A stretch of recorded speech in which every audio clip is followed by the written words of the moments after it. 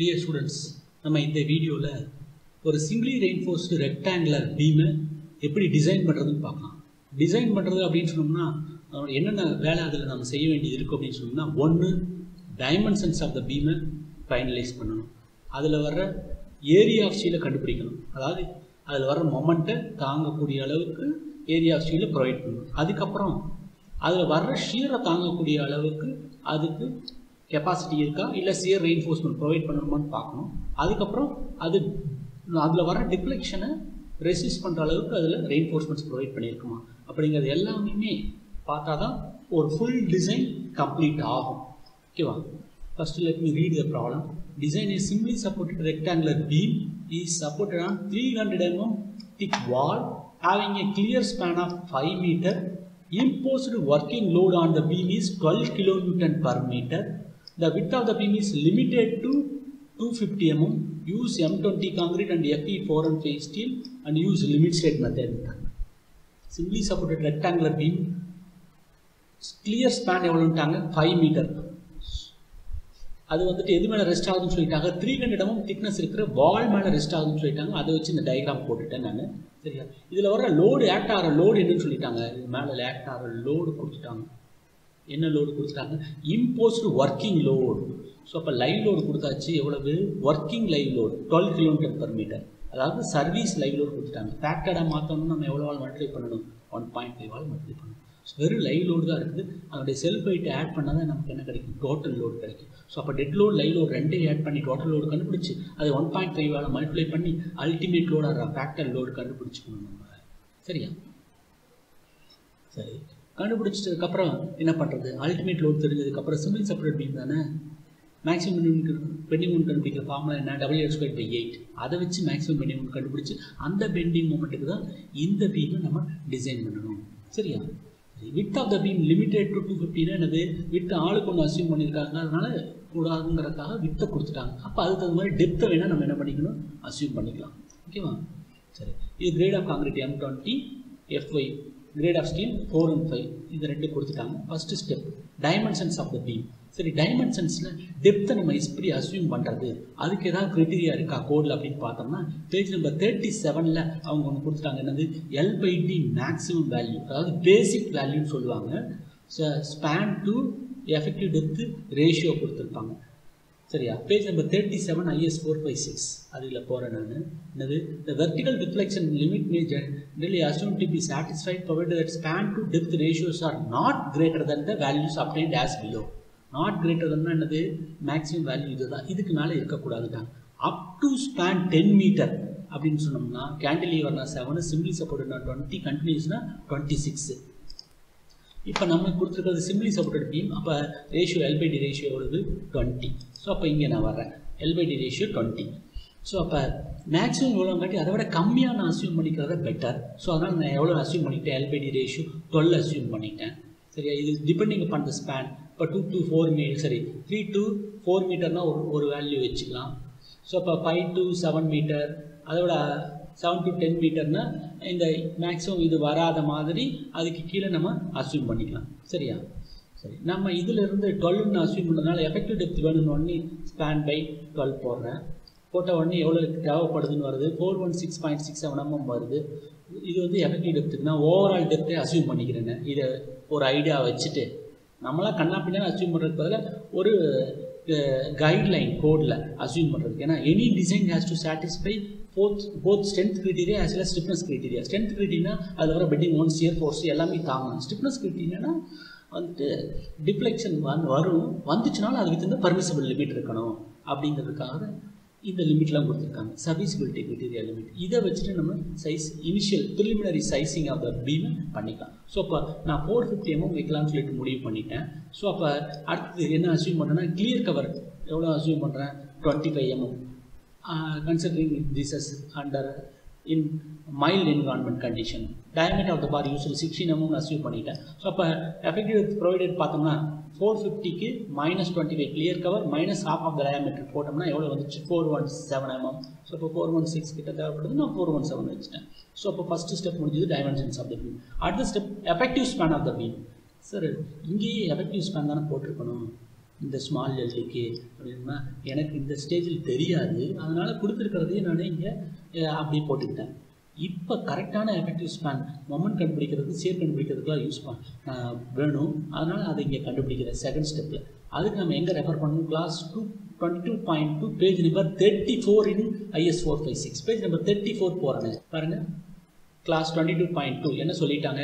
Simply supported beam or ஸ்லாப்னா the effective span of the member that is not built integrally with it supports ஏன்னா simply supported இல்லை இன்டர்வலியே வராதில்ல. மோனோலித்திக்கை construct பண்ணியிருக்க மாட்டாங்கல்ல. அப்போ என்ன condition clear span plus effective depth of the slab or B or centre to centre of the support whichever is less whichever is லெஸ்னா இந்த ரெண்டில் எது கம்மியோ அதை எடுத்துக்கணுட்டாங்க அதனால் நான் என்னென்னு எழுதிக்கிட்டேன்? மினிமம் ஆஃப் என்னென்னு எழுதிக்கிறேன்? Clear span plus effective depth condition number one ரெண்டாவது centre to centre of the support இந்த ரெண்டையும் போட்டு அதில் எது கம்மியோ அதை தான் நான் என்ன எடுத்துக்க போகிறேன் எஃபெக்டிவ் ஸ்பேன் ஓகேவா ஸோ அப்போ effective span of the B clear span plus D ஓ இதுக்காக தான் நீங்கள் டி கண்டுபிடிச்சிங்களான்னு கேட்குறீங்களா ஆமாம் கிளியர் ஸ்பேன் எவ்வளவு? சம்பளம் கொடுத்தது அஞ்சு மீட்டர் எஃபெக்டிவ் டெப்த் எவ்வளவு? Four one seven metre convert metre zero point four one seven so இப்போ ஆட் பண்ணால் five point four one seven metre அடுத்து centre to centre of the support வேணும். இப்போ டயக்ராம் பாருங்களேன். Centre to centre of the சப்போர்ட்னா இந்த சென்டர்லேருந்து இங்கே வரைக்கும் இருக்கிறது. ஸோ அப்போ இங்கே ஒரு வித் ஆஃப் த சப்போர்ட்டில் பாதி இங்கே ஒரு வித் ஆஃப் த சப்போர்ட்டில் பாதி ஆட் பண்ணணும். ஸோ அப்போ அதனால் இதை மீட்டர் கன்வெர்ட் பண்ணிவிட்டு zero point three by two plus five plus zero point three by two மொத்தத்தில் ஒரு விட்டு ஆட் பண்ணி போக வேண்டியதான் அப்போ அதுதான் எவ்வளவு? ஃபைவ் பாயிண்ட் த்ரீ மீட்டர் சரியா? ஸோ அப்போ இந்த ரெண்டு வேல்யூ வந்துருச்சு. இதில் எது கம்மியோ அதுதான் எஃபெக்டிவ் ஸ்பேன் பண்ணிட்டாங்க. அப்போ effective span is five point three metre so அப்போ இதுதான் நம்ம கால்குலேஷனுக்கு யூஸ் பண்ணணும். Next step step three load calculations moment ஆர்சியோ calculation கூட சொல்லிக்கலாம். இப்போ first self weight of the beam வேணும். ஏன்னா லைவ் லோடு தான் அதில் ஆக்ட் ஆக சொல்லிட்டாங்க. அப்போ செல்ஃப் வெயிட் ஆட் பண்ணால் தான் டோட்டல் லோடு கிடைக்கும். ஸோ அப்போ self weight of the beam வேணும்னு விட். அதனுடைய வித் எவ்வளவு? Two fifty mm metre convert பண்ணிட்டு point two five depth assume பண்ணது four fifty zero point four five வச்சாச்சு. Into twenty five unit weight of the concrete or density of the concrete reinforce cement concrete twenty five kilometre per metre cube இந்த ரெண்டு மீட்டரில் இருக்குது multiply பண்ணால் metre square kilometre per metre cube so அப்போ cancel பண்ணோம்னா kilo newton per metre எவ்வளோ two point eight one two five சம்பளம் கொடுத்துருக்க லைவ் லோடு எவ்வளவு? டுவெல் கிலோமீட்டர் மீட்டர் ரெண்டையும் ஆட் பண்ணுறோம் total working load small W கிடைக்குது. எவ்வளவு? Twelve plus two point eight one two five fourteen point eight one two five sir இது வந்து அன்ஃபேக்டாக இருக்குது.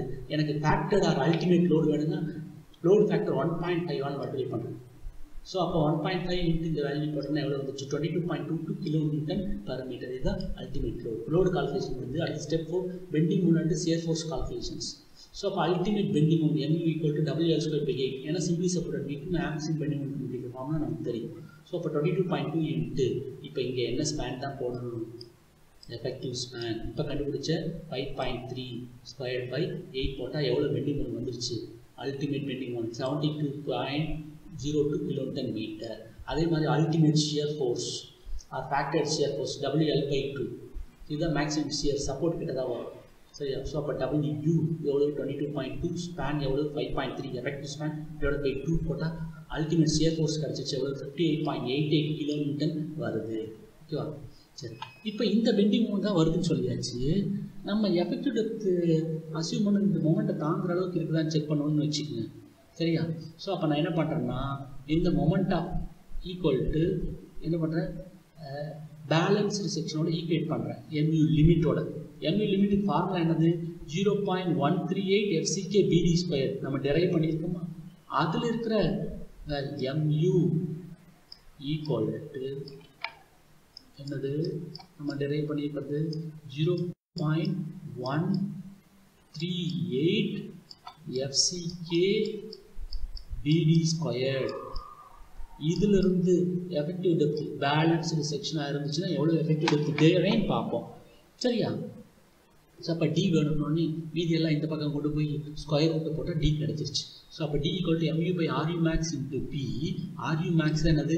Moment of resistance factor F E four hundred ஸ்டீலுக்கு தான் எவ்வளோன்னு சொல்லிட்டு zero point one three eight F C K F E five hundred ஸ்டீலாம் zero point one three three F C K இந்த ரெண்டு ஞாபகம் வச்சுக்கிட்டிங்கன்னா ஈஸியாக சம் போட்டலாம். ஏன்னா என்ன கிரேட் ஆஃப் காங்கிரீட்டை இந்த ரெண்டு ஸ்டீலோட அவங்க காம்பினேஷன் கொடுத்தாலும் நம்மளால் என்ன பண்ண முடியும்? போட முடியும். எக்ஸாமில் ஏன்னா M twenty five concrete F E five hundred ஸ்டீல்னா zero point one three three into ஏன்னா எஃபி ஃபைவ் ஹண்ட்ரட் ஸ்டீலுக்கு இதை பாருங்க. எஃப்சிகே டுவெண்ட்டி ஃபைவ்னு டுவெண்ட்டி ஃபைவ் போட்டுக்கலாம். ஓகேவா ஸோ அப்போ கண்டுபிடிச்ச மொமெண்ட் எவ்வளோ seventy eight point zero two into ten power six newton M M மாற்றிட்டு zero point one three eight into F C K twenty அதுக்கப்புறம் வித் ஆஃப் த சப்போர்ட் எவ்வளோ two fifty போட்டோம்னா எவ்வளோ தேவைப்படுது? Three thirty six point two six M M தேவைப்படுது. நல்ல வேலை நான் four one seven M M வச்சுட்டேன். ஸோ அதனால் ஹென்ஸ் ஓகே சப்போஸ் இது வந்துட்டு ப்ரொவைடட் விட அதிகமாக தேவைப்பட்டுச்சுன்னு சொன்னோம்னா நம்ம சைஸை மாற்றிட்டு திரும்பி என்ன பண்ணணும் இந்த ஸ்டெப்ஸ் எல்லாம் ரிப்பீட் பண்ணுற மாதிரி ஆகும் நல்ல வேலை பரவாயில்ல சார் நம்ம ஃபோர் ஃபிஃப்டி எம்எம் அசியூம் பண்ணோம் எவ்வளோ தான் தேவை இருக்குது ப்ரொவைட் பண்ணது ஃபோர் ஒன் செவன் எம்எம் இருக்குது. தேவைப்படுறது three thirty six point two six தான்.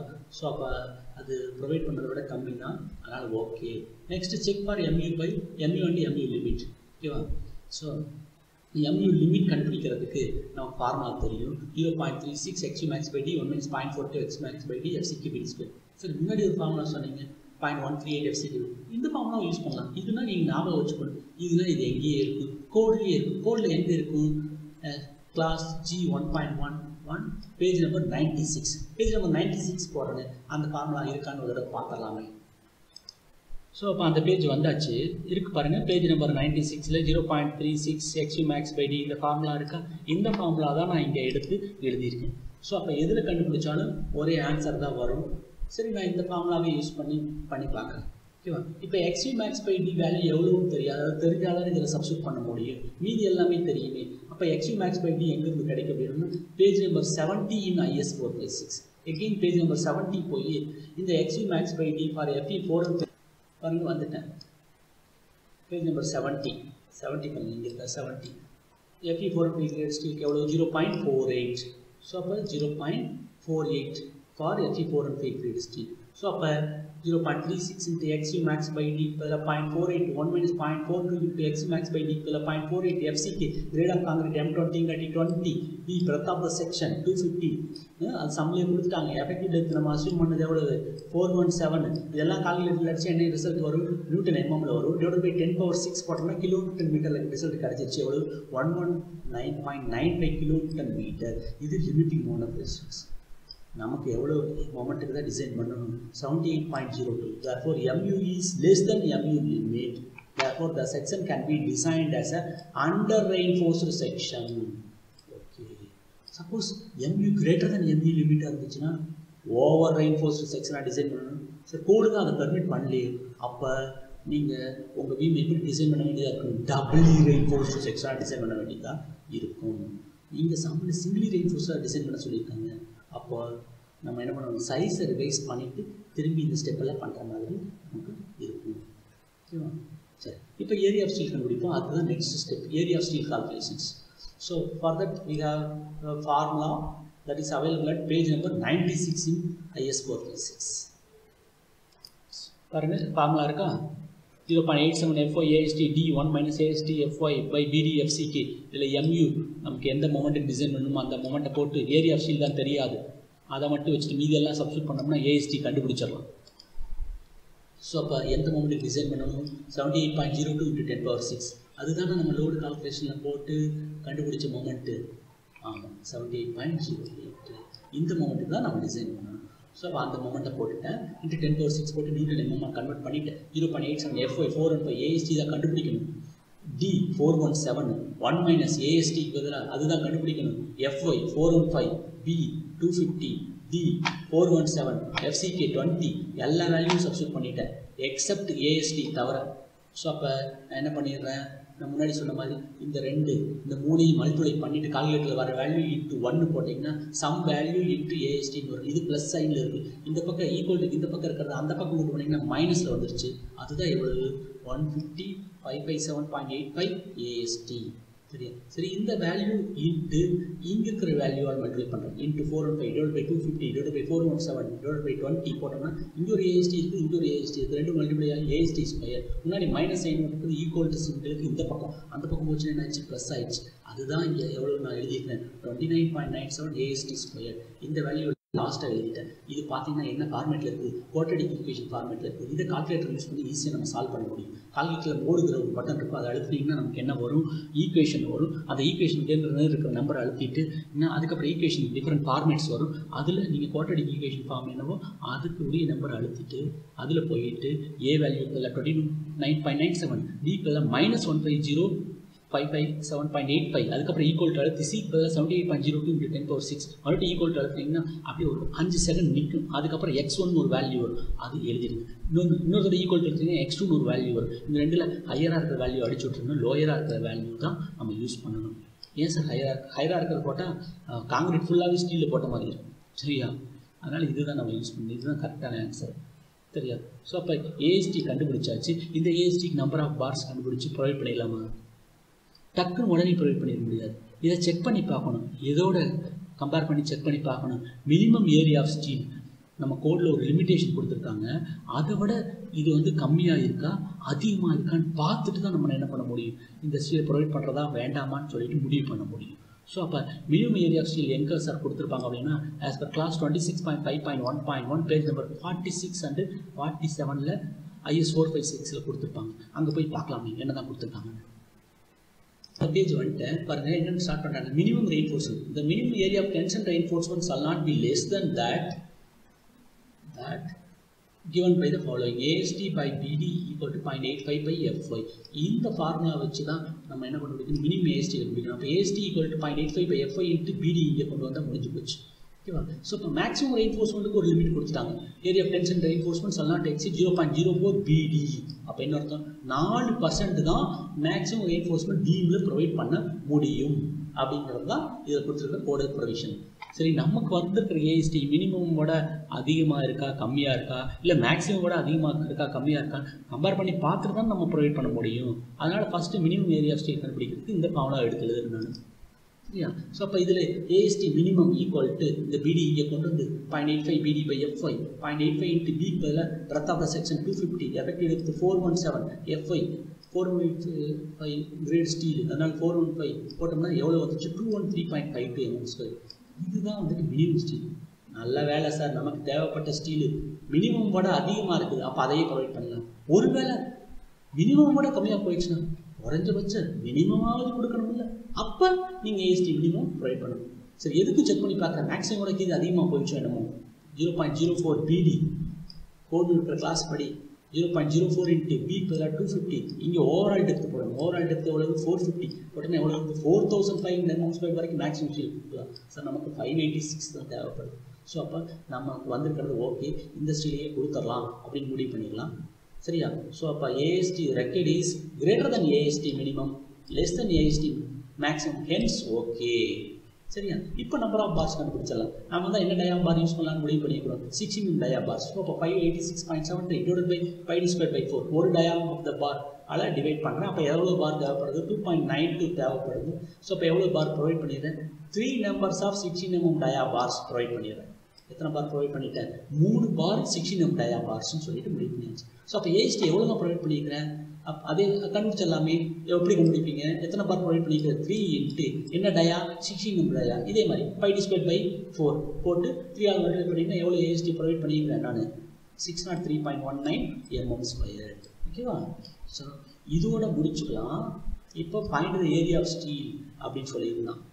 இல்லை சார் இவங்க ஃபுல் டிசைன் கேட்டாங்க. செக் பார் சீரி நான் போட்டு தான் ஆகணும் அப்படின்னு சொன்னோம்னா நம்ம அடுத்த ஸ்டெப் அதையும் பண்ணிக்கலாம். அடுத்தது என்னது?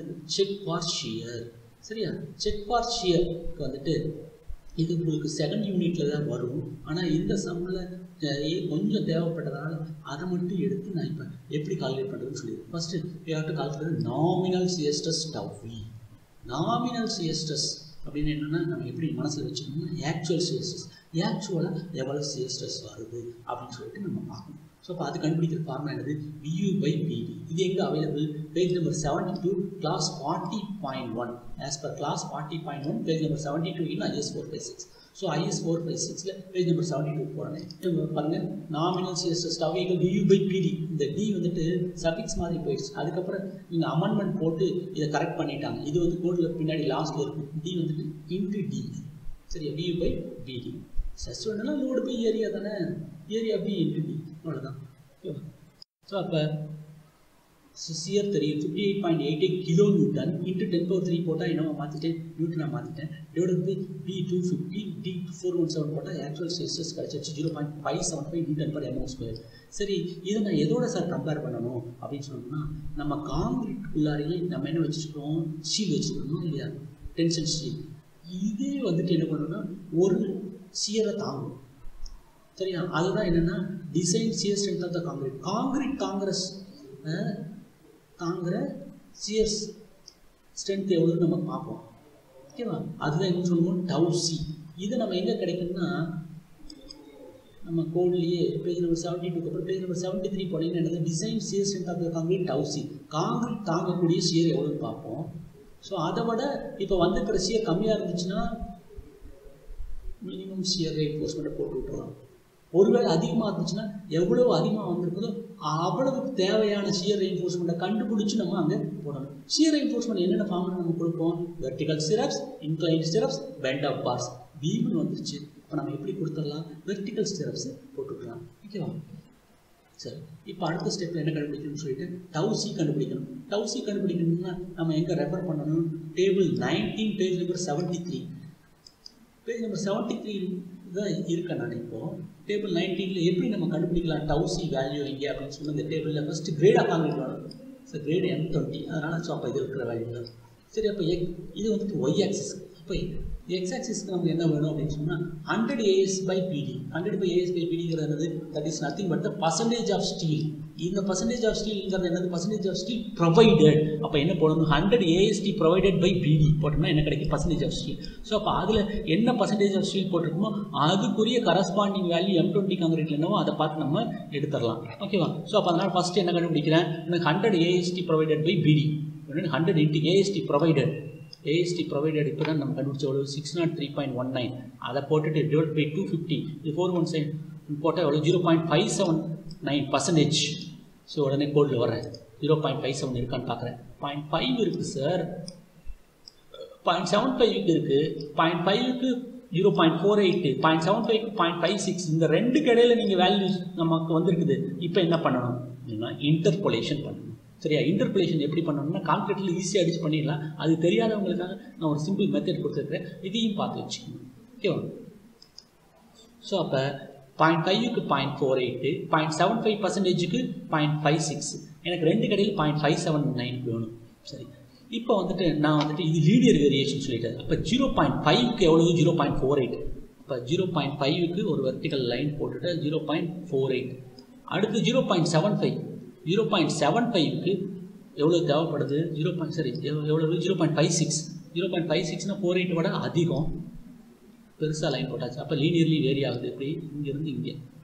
ஓகேவா இப்போ இதில் நமக்கு ரெண்டு கடையில் எங்கே வேணும் அப்படின்னு சொல்லி பார்த்தா அவ்வளவு ஜீரோ பாயிண்ட் ஃபைவ் செவன் நைனுக்கு வேணும். அப்போ எனக்கு தேவைப்படுற வேல்யூ எங்கேருந்து? இங்கேருந்து இங்கே வரைக்கும் இருக்கிற வேல்யூ இங்கேருந்து இங்கே வரைக்கும் இருக்கிற வேல்யூ எவ்வளோ ஜீரோ பாயிண்ட் ஃபோர் எயிட் அப்போ ஜீரோ பாயிண்ட் ஃபோர் எயிட் கூட இதுலேருந்து இது வரைக்கும் இருக்கிற இந்த குட்டி வேல்யூவை நான் என்ன பண்ணணும்? ஆட் பண்ணணும்.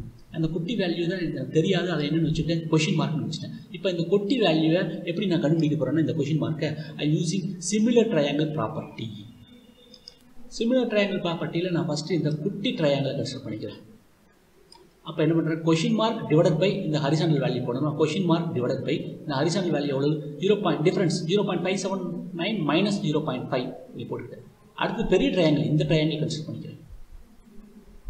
இதுலேயும் அதே மாதிரி என்ன பண்ணணும் இங்கே இருக்கிற வேல்யூ போடணும் அது என்னது zero point five six minus zero point four eight zero point five six minus zero point four eight இப்போ horizontal value zero point seven five minus zero point five என்ன அதே பெரிய ட்ரையாங்கிளுடைய base zero point seven five minus zero point இதை cross multiply பண்ணி question mark கண்டுபிடிச்சிட்டு எவ்வளோ zero point zero two five two எயிட்னு வந்துருச்சு இதை எதோட ஆட் பண்ணணும் இங்கிருந்து இது வரைக்கும் வர வேல்யூ எவ்வளவு ஜீரோ பாயிண்ட் ஃபோர் எயிட் அதோட ஆட் பண்ணிட்டேன் பாருங்க design shear strength of the concrete house equal zero point four eight plus question mark போட்டால் எவ்வளோ zero point five zero five two eight newton per mm so அப்போ நம்ம காங்கிரீட்டே இவ்வளவு shear ஸ்ட்ரெஸ்ஸை தாங்கும். நமக்கு வந்திருக்கிறது எப்படி zero point five six five அது வந்து அதிகமாக வந்துச்சு சார் கம்மியாக இருந்துச்சுன்னா மினிமம் சியர் என்ஃபோர்ஸ்மெண்ட் கொடுத்துருவோம் அதிகமாக வந்துச்சு. அப்போ எவ்வளோ அதிகமாக இருக்குதோ அதுக்கு தேவையான சியர் என்ஃபோர்ஸ்மெண்ட்டை கொடுத்துருவோம். ஓகேவா ஸோ அப்போ tau is greater than tau c C therefore shear enforcement need to be designed சரி காங்கிரீட் தாங்கிற ஃபோர்ஸ் சியர் ஃபோர்ஸ் எவ்வளோ பார்த்தோம்னா எவ்வளவு டவுசி அதுதான் design shear centre of stress into area BD போட்டோன்னா இன்ட்டு பி எவ்வளவு? டூ ஃபிஃப்டி எம்எம் விடுத்து effective depth எவ்வளவு? ஃபோர் ஒன் செவன் இதை கால்குலேட்டரில் அடிச்சுன்னா நியூட்டனில் வரும். Divide by ten power three போட்டால் kilometre fifty two point six eight kilo இவ்வளவு கிலோ நியூட்டன் ஃபோர்ஸை எதுவே தாங்கிடும். காங்கிரீட்டே தாங்கிடும். அப்போ மிச்சம் எவ்வளோ சார் இருக்குது? டோட்டலாக எவ்வளோப்பா ஷியரு நம்ம கால்குலேட் பண்ணி வச்சது முன்னாடி பாருங்கள் கால்குலேட் பண்ணி வச்சோமே.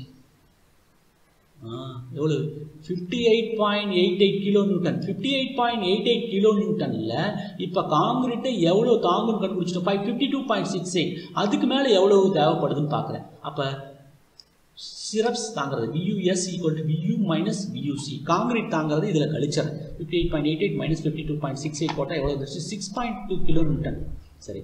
இப்போ இதுக்காக நான் என்ன பண்ணணும்? ஷியர் ரெயின்ஃபோர்ஸ்மெண்ட் டிசைன் பண்ணணும். அப்போ நான் எங்கே போகணும்? பேஜ் நம்பர் செவன்ட்டி த்ரீல இது சம்மந்தப்பட்ட டீட்டெயில்ஸ் இருக்குது போவோமே அங்கே என்ன கொடுத்துருக்காங்கன்னு பார்க்குறேன் இங்கே பாருங்கள் இங்கே கோடு என்ன? When tau is less then டவுசினா என்ன கொடுத்தா போகுது மினிமம் சியர் ரெயின்ஃபோர்ஸ்மெண்ட் சார் இங்கே தான் டவ் இ கிரேட்டர் தன் டவுசி ஆகி போயிடுச்சு. Tau e greater than exceeds டவுசினா இப்போ என்னது? சியர் ரெயின்ஃபோர்ஸ்மெண்ட் கொடுக்கலாம். Vertical stirrups bent up bars அல்லது என்ன கொடுக்கலாம்? இன்க்ளைன் சிரப்ஸ் நான் வெர்டிகல் சிரப்ஸ் கொடுக்கலான்னு இருக்கிறேன் சார் வெர்டிகல் சிரப்ஸ் அப்போ தான் சார் ரெயின்ஃபோர்ஸ்மெண்ட்டில் சேர்த்து காட்ட முடியும். இந்த ஃபார்முலாவில் போட்டு நான் கண்டுபிடிச்சிக்கலான்னு இருக்கேன் சிரப்ஸ் போகிறதுனால நம்ம என்ன தான் கண்டுபிடிக்கணும்? ஃபஸ்ட்டு ஸ்பேசிங் தான் கண்டுபிடிப்போம். அப்போ எஸ்வி இங்கே கொண்டு போயிட்டு இந்த ஃபார்முலா எப்படி எழுதிக்கலாம்? யூஎஸ் ஏஎஸ்வின்னு என்னது? ஏஎஸ்வினா என்ன கோடில் கொடுத்துருக்காங்க? Total cross section area of the stirrups legs are bent up bars within a distance SP நம்ம எப்படி போடுவோம்? இந்த மாதிரி தான் ரிங் அடிப்போம் ஸ்டிரப்ஸு ஸோ அப்போ கட் பண்ணுற இடத்துல எத்தனை இது வருது? லெக்கு ரெண்டு லெக் வருது. அப்போ இது என்ன ஸ்டிரப்ஸு டூ லெக்டு ஸ்டிரப்ஸு ஏன்னா நாலு பாரை சேர்த்து கட்டக்குனா இந்த மாதிரி தான் நம்ம போடுவோம். அப்போ இது வந்துட்டு என்னது? Two legged stirrups two legged stirrups நீ என்ன டயாமீட்டரோ அதை அசியூம் பண்ணிட்டோம்னா ஏஎஸ்பி ஈஸியாக கண்டுபிடிச்சிக்கலாம். Area of the shear reinforcement for vertical stirrups என்னது two leg ஸ்டெப்ஸ்னா two into pi D square by four diameter eight எம்எம்னா two into pi pi into eight square by ஃபோர்னு போட்டுக்கலாம். Spacing கண்டுபிடிக்கிறது ஓகேவா ஸோ இப்போ இதில் பாருங்கள் அவங்க வியூஎஸ் எப்படி கண்டுபிடிக்கிறதுன்னு சொல்லியிருக்காங்க. வியூ டோட்டல் ஷியர் இருந்து டவுசி இன்ட்டு பிடின்னு என்னது? என்னது? டவுசிங்கிறது என்னது? டிசைன் சிஎஸ்ன்றது காங்கிரீட் காங்கிரீட் எவ்வளோ தேவை தாங்குமோ அந்த ஸ்ட்ரெஸ் இன்ட்டு ஏரியா போட்டால் காங்கிரீட் தாங்குகிற ஷியர் கிடச்சிடும் அதை டோட்டல் ஷியர்லேருந்து கழிச்சிட்டா மீதி வர்ற வியூஎஸ்ங்கிற அந்த ஷியருக்கு தான் நீங்கள் ஸ்டிரப்ஸை டிசைன் பண்ணணும் கோட்லேயே சொல்லிட்டாங்க. ஸோ அப்போ நான் என்ன அசியூம் பண்ணிக்கிறேன்? Eight mm dia two leg stirrups assume பண்ணிட்டேன். வெர்டிகல் சிரப்ஸ் அப்போ அந்த ஃபார்முலா எழுதிட்டேன் VUS equal to point eight seven F ASV D by SP இதில் ஸ்பேசிங் தான் நான் கண்டுபிடிக்கணும். அதனால் எஸ்வி இங்கே கொண்டு போயிட்டு வியூஎஸ் இங்கே கொண்டு வந்துட்டு மீதி எல்லாம் சப்ஸ்டியூட் பண்ணிட்டேன். பாயிண்ட் எயிட் செவன் எஃப்ஐ பதிலாக four one five ASV two leg ஸ்டிரப்ஸ்ங்காட்டி two into pi D square by four eight M டயாங்காட்டி five D square by ஃபோரில் டயாமீட்டர் டி எவ்வளவு? எயிட் போட்டாச்சு. D four one seven divide by என்ன போடணும்? இங்கேருந்து வந்த VUS எவ்வளவு? Six point two eight into ten power three போட்டு நியூட்டனில் மாற்றிட்டு ஸ்பேசிங் கண்டுபிடிச்சோன்னா என்ன சார் இது? Two four four one point two five mm இவ்வளோ ஸ்பேசிங் வருது சார். மொத்த பீமே அஞ்சு மீட்டர் ஸ்பேண்டில் இவ்வளோ ஸ்பேசிங் தள்ளியா சார் ஸ்டெப்ஸ் கொடுப்பாங்க. இது கரெக்டா இல்லை தப்பா? இதை நீங்கள் அப்போ எதோட கம்பேர் பண்ணி பார்க்கணும்? எப்படி ஸ்டீல் கண்டுபிடிச்சோன்னே ஏரியா ஸ்டீல் கண்டுபிடிச்சோன்னே மினிமமோட கம்பேர் பண்ண மாதிரி இப்போ எதோட இதை கம்பேர் பண்ணி பார்க்கணும்? மினிமம் சியர் ரெயின்ஃபோர்ஸ்மெண்ட்டோட கம்பேர் பண்ணி பார்க்கணும். மினிமம் சியர் ரெயின்ஃபோர்ஸ்மெண்ட் எங்கே கொடுத்துருக்காங்க? கிளாஸ் பா twenty six point five point one point six page number forty எயிட்டில் கொடுத்துருக்காங்க ஐஎஸ் ஃபோர் ஃபைவ் சிக்ஸில் அந்த பேஜுக்கு நான் போகிறேன் minimum share reinforcement ASV by BSV greater than or equal to point four by point eight seven F five இதை cross multiply பண்ணி நீங்கள் ஸோ இப்போ இந்த பேஜ் வந்துட்டேன். ASV by SV greater than equal to point four by point eight seven F இதை cross multiply பண்ணி SV ஒரு சைடில் வச்சுட்டு மீதி எல்லாம் இன்னொரு சைடில் வச்சுருக்கோம் எஸ்வி இங்கே கொண்டு வந்து மேலே வச்சுருக்கோம் point eight seven FY ASV divide by point four B எழுதிடலாமா?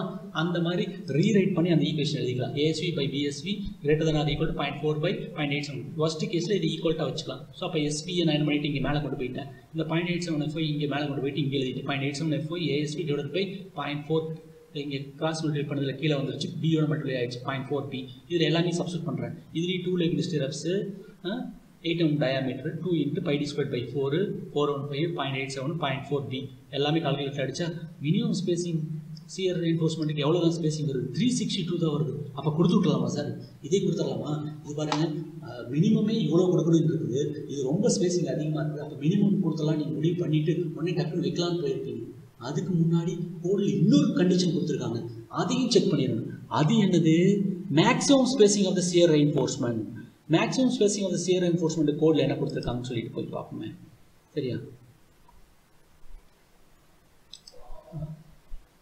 பாருங்க பேஜ் நம்பர் ஃபார்ட்டி செவன்ல maximum spacing of the shear reinforcement measured along the axis of the member shall not exceed zero point seven five D for vertical for and D for vertical stirrups answer vertical stirrups தான் sir அப்போ zero point seven depth D the D is consideration. Effective no of shall section under exceed in case the three hundred எந்த கேஸ்லையும் முந்நூறு MM விட அதிகமாக வச்சிடாதீங்க அப்படின்னு வேற சொல்லிவிட்டாங்க அப்போ என்னன்னு சொல்லணும் minimum of point seven five D or three hundred mm அப்போ zero point seven five into effective depth four one seven போட்டேன் எவ்வளோ three one two point seven five mm இது த்ரீ ஹண்ட்ரட் எம்எம் சரி சார் நாலு spacing வந்துருச்சு. இப்போ இதில் எது பார்க்கணும்? இதில் எது மினிமமோ அதை தான் ப்ரொவைட் பண்ணணும். தேவைப்பட்டது எவ்வளவு? Two four four one point two five ரொம்ப அதிகமாக இருக்குது. மினிமமோட கம்பேர் பண்ணால் மினிமம் த்ரீ சிக்ஸ் டூ தேவைப்படுது. அதுக்கப்புறம் மேக்ஸிமம் ஸ்பேசிங் பார்த்தா என்ன லிமிட் கொடுத்துட்டாங்க? இந்த ரெண்டில் எது கம்மின்னு பார்க்க சொல்லிட்டாங்க. அப்போ இந்த நாலுலேயும் எது கம்மின்னு பார்த்தோம்னா எவ்வளவு கம்மியாக வந்துச்சு? த்ரீ ஹண்ட்ரட் ஸோ அப்போ provide eight m dia two leg stirrups at three hundred mm center to center so அப்போ இதோட சியர் ரெயின்ஃபோர்ஸ்மெண்ட் டிசைன் முடிஞ்சிச்சு. அடுத்ததான் நம்ம என்ன பண்ணணும் அப்படின்னா check for deflection deflection with இந்த பர்மிசிபிள் லிமிட் இருக்கா அப்படின்னு சொல்லிட்டு நம்ம பார்க்கணும். ஸோ நம்ம முன்னாடியே நம்ம பார்த்துட்டோம் பேஜ் நம்பர் தேர்ட்டி செவனில் ஒரு கிளாஸ் கொடுத்துருக்காங்க. மேக்ஸிமம்க்கு என்னது? L by D maximum equal to எவ்வளோ கொடுத்துருந்தாங்க? Simply supported twenty page number thirty seven போவோமே. ஸோ அப்போ L by D basic value எவ்வளோன்னா twenty இந்த டுவெண்ட்டி வந்துட்டு நம்ம ஸ்பேன் மட்டும் வச்சு தான் இதில் ரெயின்ஃபோர்ஸ்மெண்ட் கொடுத்தோம்னா இந்த வேல்யூ என்ன பண்ண சொல்கிறாங்கன்னு பாருங்களேன். Depending upon the area of the stress in the steel for tension reinforcement the value in a என்னது? இதில் இருக்கிற வேல்யூ ஏவை modified by multiplying with modification factor obtained from figures four எதுக்கு? டென்ஷன் ஸ்டீலை வச்சு ஃபிகர் ஃபோரில் வர வேல்யூ வச்சு ஃபிகர் ஃபோர் எங்கே இருக்குது? இந்த figure four modification factor for tension steel கண்டுபிடிச்சி அதோட டுவெண்ட்டி மல்டிப்ளை பண்ணோம்னா மாடிஃபை ஆகும். அதோட வேற அது மட்டும் தான் மாடிஃபிகேஷன் பண்ணணுமா கம்ப்ரஷன் ரெயின்ஃபோர்ஸ்மெண்ட் நீங்கள் டிசைன் பண்ணியிருந்தீங்கன்னா ஃபிகர் ஃபைவை பார்த்துட்டு அதுக்கு ஒரு மாடிஃபிகேஷன் பண்ணணும். அதுக்கப்புறம் இ ஃபார் பிளான் பீமா இருந்துச்சுன்னா அதுக்கு ஒரு மாடிஃபிகேஷன் பண்ணணும். ஃபிகர் சிக்ஸை பார்த்து என்ன சார் இத்தனை மாடிஃபிகேஷன் ஃபேக்டரோட மல்டிப்ளை பண்ணணுமா? நல்ல வேளை நம்ம சம்மில் அந்த கேஸ்லாம் வரல பாருங்கள் என்னது? டென்ஷன் ரெயின்ஃபோர்ஸ்மெண்ட்டுக்கு கேடி கம்ப்ரஷன் ரெயின்ஃபோர்ஸ்மெண்ட்டுக்கு கேசி மாடிஃபிகேஷன் ஃபேக்டர் பிளான்ஜர் பீமுக்கு எஃப் கேஎஃப் நம்ம என்ன பிளான்ஜர் பீமே பார்க்கலையே இதை பிளான்ஜர் பீமாவும் பண்ணலையே. ரெக்டாங்குலர் பீமாக தான் பண்ணிக்கலாம். அப்போ கேஎஃப் எவ்வளவு? மாடிஃபிகேஷனே கிடையாது. ஒன்று கம்ப்ரஷன் ஸ்டீல் டிசைன் பண்ணல சார் இது சிங்கிளி ரெயின்ஃபோர்ஸ்டு டபுள் ரெயின்ஃபோர்ஸ்னால் தான் கம்ப்ரஷன் ஸ்டீல் பண்ணியிருப்போம். அப்போ அதுவும் இங்கே வராது. அப்போ எது மட்டும் பார்க்கணும்? கேடி மட்டும் ஃபிகர் ஃபோரில் பார்க்கணும். சரியா? ஸோ அப்போ கேடி மட்டும் பார்க்கணும். Percentage of steel provided already இந்த பர்சன்டேஜ் ஸ்டீல் இங்கே போட்டுக்கிறேன் இந்த ஸ்டெப் இன்னொரு தடவை உங்களுக்கு தெரியணுங்கிறாங்க இது எங்கே ஆல்ரெடி கண்டுபிடிச்சிட்டு பாருங்க. செக் ஃபார் சியர்லேயே கண்டுபிடிச்சிட்டு பாருங்க. ஸ்டார்டிங்லேயே ஏஎஸ்டி ப்ரொவைடட் கண்டுபிடிச்சினா பாருங்கள் ஏஎஸ்டி ப்ரொவைடட் வச்சு பர்சன்டேஜ் ஆஃப் ஸ்டீல் எவ்வளோ zero point five seven nine சரியா? ஸோ அப்போ பர்சன்டேஜ் ஆஃப் ஸ்டீல் ப்ரொவைடட் நமக்கு தெரியும். சரியா? சரி இதை வச்சுட்டு என்ன கண்டுபிடிக்க போகிறீங்க எங்கே போக சொல்கிறாங்க ஃபிகர் ஃபோரு ஃபிகர் ஃபோரில் பார்ப்போமே என்ன தான் கொடுத்துருக்காங்க ஃபிகர் ஃபோரில் போயிட்டு நம்ம எக்ஸ் ஆக்சிஸில் என்ன தெரியணும் percentage of tension reinforcement so அப்போ அதாவது zero point five seven nine zero point five இது வந்துட்டு ஜீரோ பாயிண்ட் எயிட் இருக்குது. அப்போ இது எவ்வளோ இருக்கும்? இடையில பிரிச்சது ஜீரோ பாயிண்ட் சிக்ஸாக இருக்கும். பாயிண்ட் ஃபைவ் செவன்னா இது வந்துட்டு ஜீரோ பாயிண்ட் ஃபைவாக இருக்கும் சார். ஃபைவ் செவன் கிட்டத்தட்ட இந்த இடத்துக்கிட்ட வரும். சரியா? இந்த இடத்துக்கு வரும் இதில் போய் பார்த்தோம்னா இங்கே மாடிஃபிகேஷன் ஃபேக்டர் எக்ஸாக்ஸ் இருக்குது. இதில் கருவு வேறு எடுக்கணும். இந்த கருவில் என்ன எடுக்கணும்? எஃப்எஸ் வேல்யூ வேணும். அப்போ எஃப்எஸ்னா என்ன? Point five eight F five by area of the cross sectional steel required by area of the cross sectional steel provided ஒன்று தேவைப்பட்டிருக்கும் நீங்கள் ஒன்றும் அதை விட அதிகமாக கொடுத்துருக்கீங்க. அதை வச்சு தான் கண்டுபிடிக்கணுட்டாங்க அப்போ zero point five eight into AST required by AST provided tension steel தான் இது. ஸோ இப்போ zero point five eight into FI four one five provided எவ்வளவு? Six nought three point one nine இங்கேயே யூஸ் பண்ணிக்கிறோம். பார்ப்போம். தேவைப்பட்டது என்னன்னு பார்ப்போமே. அந்த ஸ்டெப்புக்கு போய் பார்ப்போமே. எவ்வளோ தேவைப்பட்டுச்சு? அப்படின்னு சொன்னால் எவ்வளோ தேவைப்பட்டுச்சு நமக்கு? மினிமம் மனோடெல்லாம் கம்பேர் பண்ணிவிட்டு எவ்வளோ தேவைப்பட்டுச்சு? Five eighty six point seven three mm square தேவைப்பட்டுச்சு. மூணு பார் ப்ரொவைட் பண்ணி எவ்வளோ ப்ரொவைட் பண்ணிக்கிறோம்? Six nought three point one nine provide பண்ணிக்கிறோம். ஸோ அப்போ ரேஷியோ போட்டலாமா அது ஃபைவ் எயிட்டி சிக்ஸ் சம்திங்கு இது சிக்ஸ் ஹண்ட்ரட் சம்திங்கு இதை போட்டுட்டு பார்த்தோம்னா எஃப்எஸ் கிடச்சிச்சு two thirty four point one nine இப்போ தான் figure four page number thirty எயிட்டில் போயிட்டு நான் பார்க்குறேன். சரியா? இது பாயிண்ட் ஃபைவ் செவன் நைனுக்கு இதுக்கு நேர் அப்படியே போட்டோம்னா இந்த எஃப்எஸ் வேல்யூ எவ்வளோ வந்துச்சு? Two thirty four point one nine two thirty four இந்த கர்வ் எதுக்கு? இந்த இடத்துக்கு வந்தோம்னா டூ நைன்ட்டிக்கு அது கிடையாது. இது டூ ஃபார்ட்டிக்கு இது ஒன் நைன்ட்டிக்கு அப்போ டூ ஃபார்ட்டி கிடையாது. டூ தேர்ட்டி ஃபோருங்கும் போது இதோட கொஞ்சம் இங்கே வரும் சார் இந்த இடத்துக்கிட்ட வரும். இந்த இடத்துக்கிட்ட இருக்கும் சார் மாடிஃபிகேஷன் ஃபேக்டர் எவ்வளோ சார் எடுத்துக்கலாம். இது ஒன் பாயிண்ட் டூ இங்கே ஒன் பாயிண்ட் சிக்ஸ் அப்போ இது எவ்வளோ இருக்கும்? ஒன் பாயிண்ட் ஃபோராக இருக்கும். இந்த இடத்துல ஒன் பாயிண்ட் த்ரீயாக இருக்கும். இது அதுக்கு நடுவில் இருக்குது. அப்போ ஒன் பாயிண்ட் டூ ஃபைவ் வச்சுக்கலாமா? ஸோ அப்போ அதனால் நான் எவ்வளோ எடுத்துக்கிட்டேன்? One point two five so அப்போ மாடிஃபிகேஷன் ஃபேக்டர் தெரிஞ்சிச்சு. அப்போ எல்பிடி மேக்ஸிமம் அவ்வளோ twenty into one point two five இப்போ டென்ஷன் ஸ்டீல் கம்ப்ரஷன் ஸ்டீலுக்கு அப்ளை ஆகாது. பிளாஞ்சர் பீமுக்கு அப்ளை ஆகாது. அப்போ வேல்யூ எவ்வளோ ஆயிடுச்சு? டுவெண்ட்டி ஃபைவ் இது மேக்ஸிமம் இதுக்கு மேலே போகக்கூடாது.